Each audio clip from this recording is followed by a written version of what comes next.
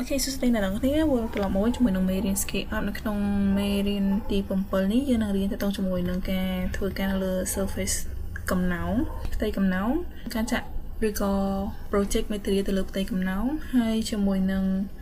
វិធីនៅក្នុងការគូសដើម្បីឲ្យការងារយើងលឿនមានន័យថាគូសឲ្យលឿនជាងមុនចឹងយើងគួរតែចេះអីខ្លះការធ្វើការលើផ្ទៃកំណោងចឹងឧបមាថាយើងមានផ្ទៃមួយកោងចឹង u ox អូខេ ចឹងវាបានតែតាមទិសអឺដែលមានផ្ទៃស្មើគឺផ្ទៃ x ប៉ុន្តែដល់ពេលតាមទិស y ដែលដោយសារតែវាផ្ទៃកំណោងចឹងយើង offset អត់បាននេះចឹងវិធីដែលយើងអាច offset ឬក៏យើងអាចលេងបានយើង copy វា copy h ដែលមានផ្ទៃនឹងស្រាប់តបមកយើងចេះពី copy ទៅអត់ move ហើយយើង click control ម្ដងទៀតហើយយើងខ្ញុំ select select select តបមកខ្ញុំ tab move ឬក៏ shortcut គឺអក្សរ M ហើយខ្ញុំ click ហើយខ្ញុំចុច control ដើម្បីបង្កើតបាន copy ចឹងយើងបង្កើតបានផ្ទៃនេះនេះចឹងនៅពេលដែលយើងបានផ្ទៃកំណោងនោះហើយយើងអាច add surface ពីលើហ្នឹងឬក៏ដក surface ចេញ delete ដូចគ្នាដែរទៅនឹងផ្ទៃឧទាហរណ៍ថា C ឡើងយើង offset ឡើងហើយយើងចង់មានផ្ទៃ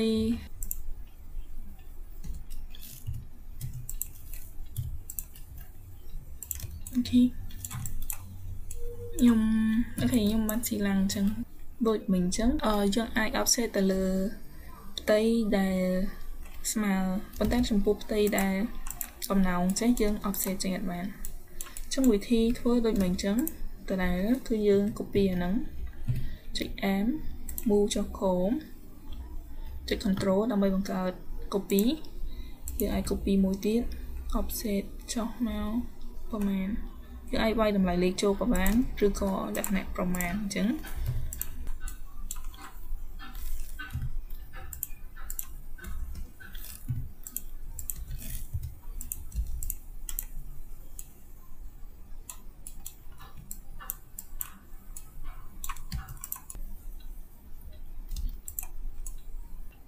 ថា1ម៉ែត្រ copy ចេញទៅក្រៅ ខ្ញុំគូស line វិញ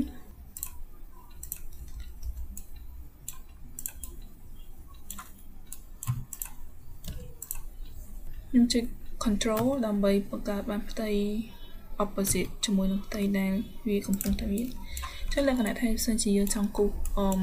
ផ្ទៃដែលលាតចេញពីផ្ទៃកំណោងដោយយើងប្រើ push pull អត់បាន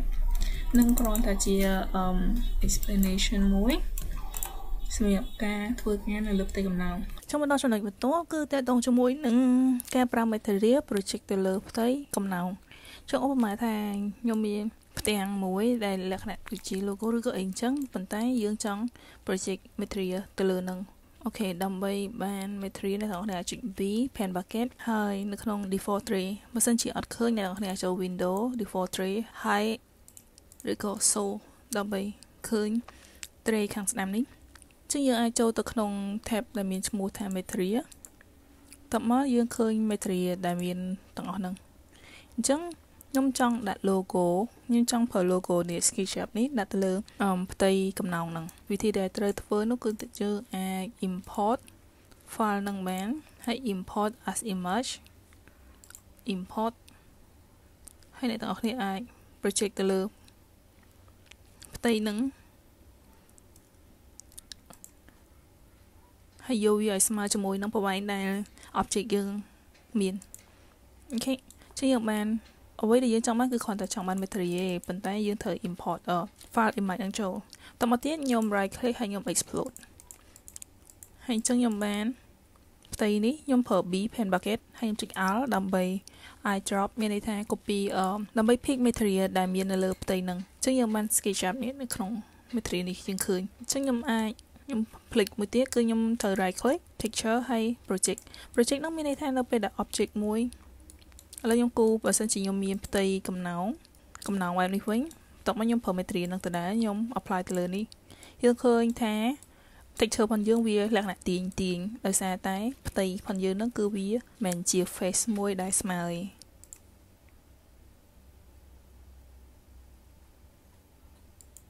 right click texture project តបមកខ្ញុំប្រើ pen bucket ខ្ញុំ pick អាហ្នឹងហើយខ្ញុំ select ទៅលើ surface ចឹងវា scratch វាទាញទៅតាមផ្ទៃបែបហ្នឹងមួយទៀតខ្ញុំអាច hide geometry បើសិនជាខ្ញុំអត់ project ទេខ្ញុំ right click ខ្ញុំ texture យក antique ទៅលើ project ហ្នឹងវិញតោះមកខ្ញុំ pick material ហ្នឹងទៅដែរចុច pen bucket ហើយ key out តបមកខ្ញុំអាច apply វាម្ដងមួយម្ដងមួយ segment មួយ segment ទៅលើអូខេអញ្ចឹងយើងត្រូវយកអីមួយជា goal ឧទាហរណ៍ថាយើងយក face មួយនេះជា goal អញ្ចឹងមិនយើង pick ពី face ហ្នឹងហើយយើង apply បន្តបន្តទៅខាងក្រោយទៀត B អូខេចឹង ចឹងមិន battery យើងវាអត់ scratch វាអត់ទាញទៅតាម face pun object ដូចគ្នាដែរមិនថាវាកំណោទៅតាមទិសណាបើសិនជាផ្ទៃនេះក៏ដោយខ្ញុំត្រូវ select ចឹងខ្ញុំត្រូវចូលទៅក្នុង component ហ្នឹងអូខេខ្ញុំដក hidden geometry វិញចឹងនៅពេលដែលខ្ញុំចូលទៅ select វាជាផ្ទៃតែមួយឯងវាអត់ជា segment ឬក៏ surface តូចតូចឯងតបមកខ្ញុំ apply y ខុសគ្នា ចឹងបើសិនជាខ្ញុំនេះខ្ញុំខ្ញុំ right click ខ្ញុំយក texture project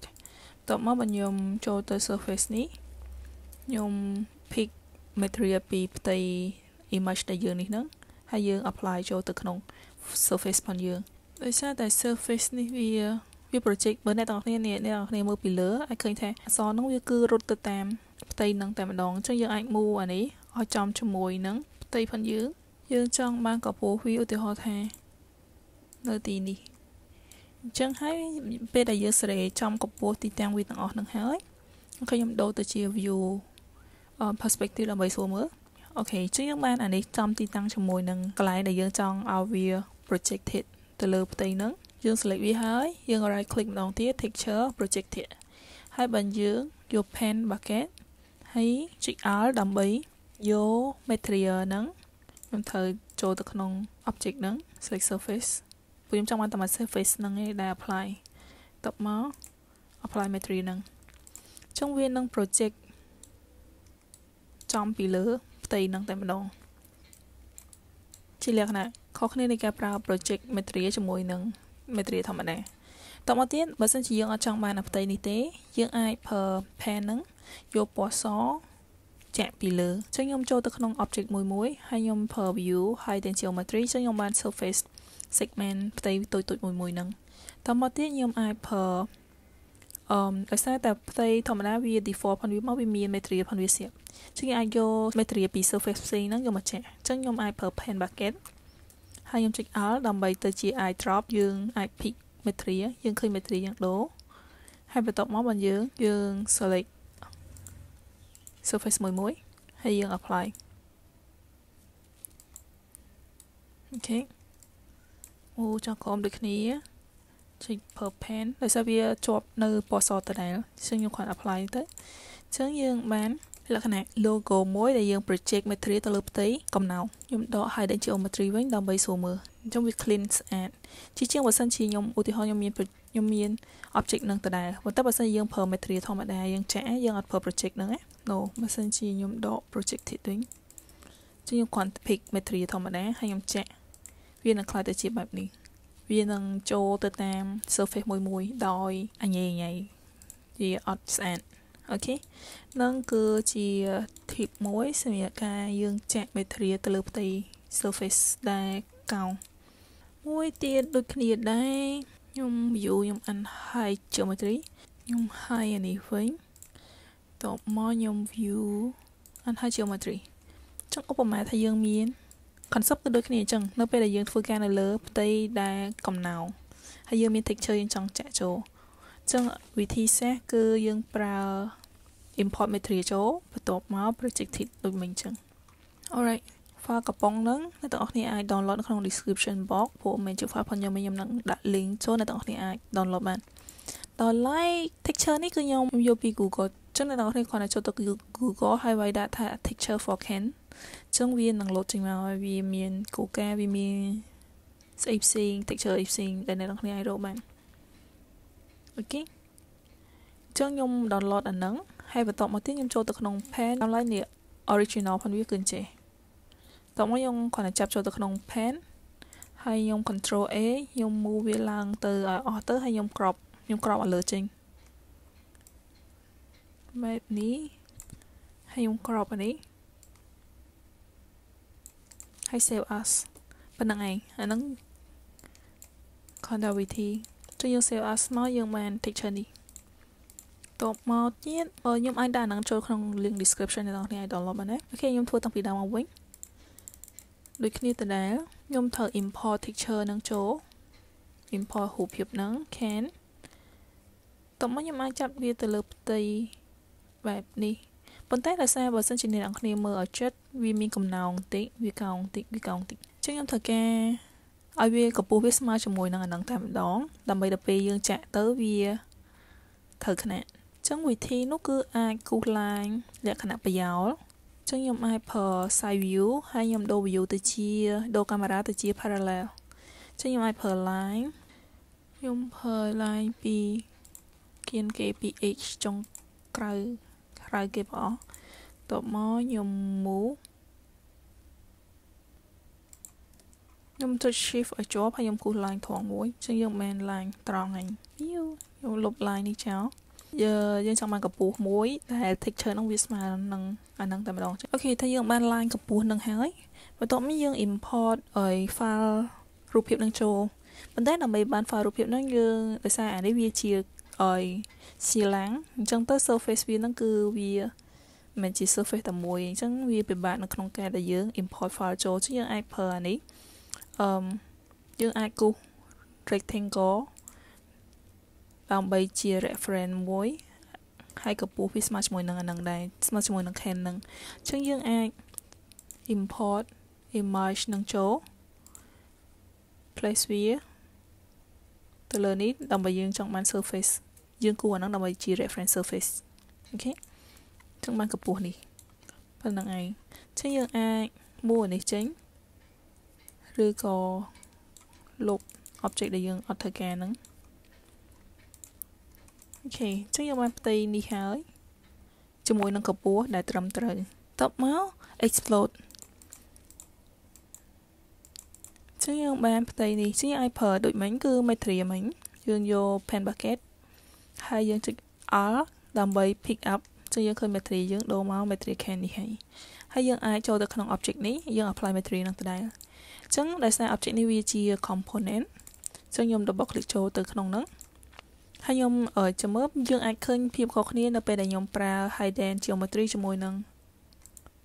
turn off hidden geometry ហ្នឹងអញ្ចឹងវាអានេះយើងអាច select surface តែមួយបានអញ្ចឹងខ្ញុំអាច pick អានេះហើយខ្ញុំ apply ចូល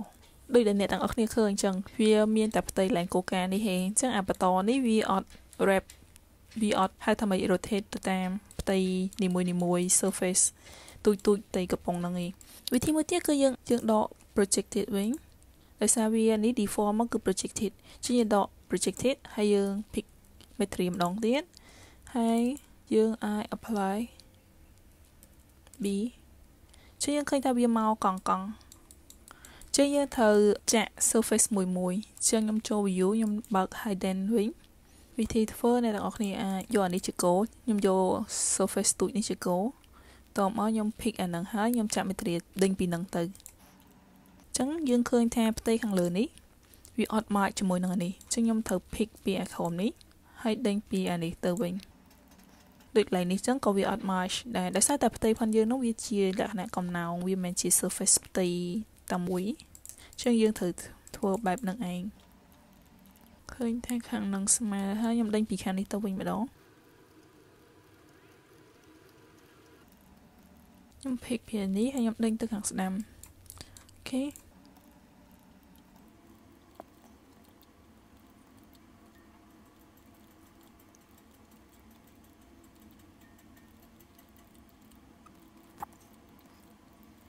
អូខេយើងឃើញអានេះថាអត់ស្មើ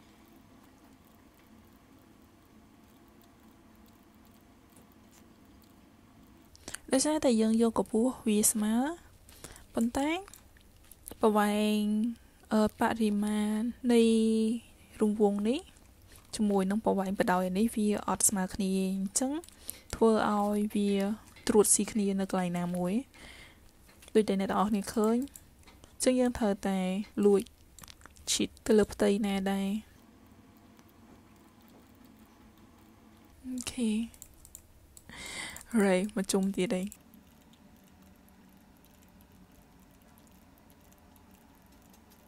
ចឹងខ្ញុំយកធំនេះចុះអូខេបន្ទាប់មកបញ្ញុំ ចាក់ពីនេះ copy ពីនេះចាក់ឡើងទៅលើវិញអូខេ It's gonna be forever alright ចិត្តអីចិត្តហើយឯងអូខេ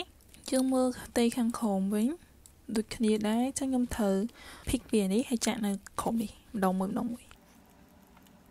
pick ពីលើនេះចាក់នេះបើសិនជាមាន plug in វាលឿនជាងនឹងតែនេះយើងប្រើលក្ខណៈយើងយល់ concept ហើយជាមួយនឹងការប្រើប្រាស់ convention right អូខេ clean ហើយខ្ញុំដក hidden geometry ចឹងនឹងគឺជា final product ដែលយើងធ្វើការចាក់ material project ទៅលើ object ដែលមានផ្ទៃកំណោងអូខេ so camera ដកយក perspective ចឹងនេះគ្រាន់តែជា tip and trick សម្រាប់ការធ្វើការលើផ្ទៃកំណោងមួយទៀតនេះគឺជាមេរៀនខ្ញុំនឹង upload ចូលក្នុង description បោកដូចគ្នាអ្នកទាំងអស់គ្នាអាច download បានតែតងជាមួយនឹង shortcut នៃ object នៃ tool នៃ tool នីមួយៗអញ្ចឹងដើម្បីធ្វើការឲ្យលឿនអ្នកទាំងអស់គ្នាគួរតែចងចាំ shortcut ទាំងអស់ហ្នឹងដូចជា A សម្រាប់គូសកំណោង B សម្រាប់ចាក់ពណ៌ C circle គូសរំពងអីជាដើមហ្នឹងអញ្ចឹងចំពោះកន្លែងដែលខ្ញុំ highlight ពណ៌ក្រហមហ្នឹងមានន័យថាវាអត់មាន tool អី assign ទៅលើ key ហ្នឹងទេអញ្ចឹងអ្នកទាំងអស់គ្នាអាចបង្កើត shortcut ដោយខ្លួនឯងដោយ add អីដែលអ្នកទាំងអស់គ្នាគិតថាវាញឹមប្រយោជន៍ឬក៏អ្នកទាំងអស់គ្នាប្រើច្រើនអញ្ចឹងជាជាងចូលទៅ click tool នីមួយៗអញ្ចឹងវាអាចជួយឲ្យការងារយើងលឿនជាងមុនអញ្ចឹងវាអាស្រ័យទៅលើការប្រើប្រាស់របស់អ្នកទាំងអស់គ្នាអញ្ចឹងអ្នកទាំងអស់គ្នាអាចអានហើយនឹងកត់ចំណាំដល់ខ្លួនឯងថា tool មួយណាអយ shortcut អីគេអីដែលខ្ញុំអាសាប្រើជាងគេគឺនេះ tool zoom extend ដើម្បីងាយស្រួលនៅពេលដែលយើង select object ណាមួយអញ្ចឹងហើយយើងចង់មើលទៅចិត្តអញ្ចឹងយើង shift control e zoom extend នោះមានន័យថាពង្រីកដើម្បីមើលឃើញ object ទាំងអស់អញ្ចឹងបើសិនជា object យើងមាន object behind មួយឧទាហរណ៍ព្រោះនៅក្នុង file នេះបើសិនជាខ្ញុំចូល hidden geometry ខ្ញុំមាន file នេះខ្ញុំមានផ្ទះធំមួយទៀតដែលខ្ញុំបើសិនជាខ្ញុំ unhide unhide ចឹងបើសិនខ្ញុំប្រើ key នឹងដដែលវានឹងពង្រីក object ដែលមាននៅក្នុង file នឹងទាំងអស់ key មួយទៀតដែលងាយស្រួលប្រើគឺ hide មានន័យថាយើងលាក់ object អញ្ចឹងយើងស្រួល focus ទៅលើ object មួយមួយដែលយើងធ្វើនៅពេលដែលយើងធ្វើការនឹងមួយមួយជាជាងមាន object ច្រើនយើង rotate ចុះឡើងចុះឡើងទៅវាវិលមុខ ចឹងឧទាហរណ៍ថាយើងធ្វើការនៅលើកំពង់នេះចឹងមែនតើទៅបើសិនជាយើងទៅឡើងវាអាចមានផ្ទះវាអាចមានប្រកាន់ដៃឬក៏អីដែលយើងធ្វើ detail អញ្ចឹងវិធីងាយស្រួលគឺយើង hide object ណាដែលយើងអត់ទាន់ធ្វើការហើយយើង focus ទៅលើ object ដែលយើងកំពុងតែធ្វើការវាងាយនឹងគូសហើយនឹងងាយស្រួលមើលអូខេចឹងឧទាហរណ៍ខ្ញុំ hide នេះចឹង hide shortcut ផងវា default ផងវាមកគឺ W ខ្ញុំអាចចុច key W បាត់បាត់អីប៉ុន្តែដល់ពេល unhide វាវា complicated បន្តិចខ្ញុំត្រូវចូលទៅ hidden geometry ហើយ click object នឹង right click and hide ចឹងខ្ញុំអាច assign key and hide ទៅក្នុងនេះនឹងបាន ទៅក្នុង shortcut ផងយើងបានដោយខ្ញុំអាចចូលទៅក្នុង window preference ហើយនេះអ្នកនរអាចឃើញនៅខាងឆ្វេងនេះពាក្យថា shortcut ហើយយើងអាច row unhide unhide selected ឃើញយើងឃើញខាងស្ដាំនេះអត់មាន key ណាដែល assign ចូលទេអញ្ចឹងខ្ញុំអាច add បាន ខ្ញុំអាចមើលនៅក្នុងនេះដោយសារតែខ្ញុំយកអក្សរ D ចុះអាហ្នឹងអាហ្នឹងគឺជា preference របស់ខ្ញុំឯងប៉ុន្តែអ្នកទាំងគ្នាអាច assign key ផ្សេងដោយសារ D ផងយើងអត់មានអញ្ចឹងខ្ញុំចុច D យើងចុច D ទៅទេអត់ចុច shift ឬក៏អីទេតបមកយើង assign add ទៅអញ្ចឹង key D ហ្នឹងគឺជាប់ទៅនឹង unhide ឯងចុច OK ដងទៀតខ្ញុំ select ខ្ញុំ hide W ខ្ញុំ unhide ខ្ញុំចុចអក្សរ D អញ្ចឹងវាងាយស្រួលយើងមក right click unhide អញ្ចឹងវា save យើង right click មួយអញ្ចឹងបើមែនតើបើសិនជាយើងនាំតែរ tool នីមួយៗចុង view អញ្ចឹង keyboard គឺជួយយើងធ្វើការឲ្យបានលឿនជាងមុនអញ្ចឹងអ្នកទាំងអស់គ្នាអាចមើលទៅ list នឹងបានហើយអ្នកទាំងអស់គ្នាអាច assign key ណាដែលអ្នកទាំងអស់គ្នាចង់ដាក់អីជាដើម OK នៅក្នុង description complete download OK អញ្ចឹងអស់ហើយជាមួយនឹងវីដេអូហ្នឹងសង្ឃឹមថាអ្នកគ្នាមើលទាន់មើលអត់ទាន់មើលម្ដងទៀតណា OK ជួបគ្នានៅវីដេអូបន្ទាប់ bye